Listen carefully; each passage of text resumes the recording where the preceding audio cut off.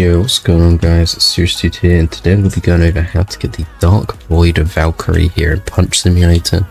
So basically, once you're here in game, I have a game link in the description for you guys. You want to come in game and then you'll see at the top of your screen, it says free limited UGC.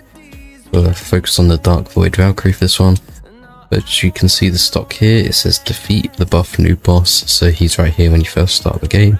Go ahead and defeat him and then you want to go ahead and unlock the desert with your winds. So you'll buy the desert pole walk into that. And then here all the way at the end you'll see cowboy noob which is the second task. Once you've defeated them two. The third one will be one stage up from uh, whatever stage you're already at when it came out. So maybe you'll need to go up again and then you'll need to fight the TNT guy. And it's that simple. You just have to defeat bosses for this one the last UGC that is still here in stock, you need to hatch two secret pets. If you go to the eggs, you'll see that they're really hard to get. Let me show you real quick. So yeah, 1 out of 20k chance, and you can go down to the lower one, and there's a 1 in 10k chance, but that's the lowest it gets.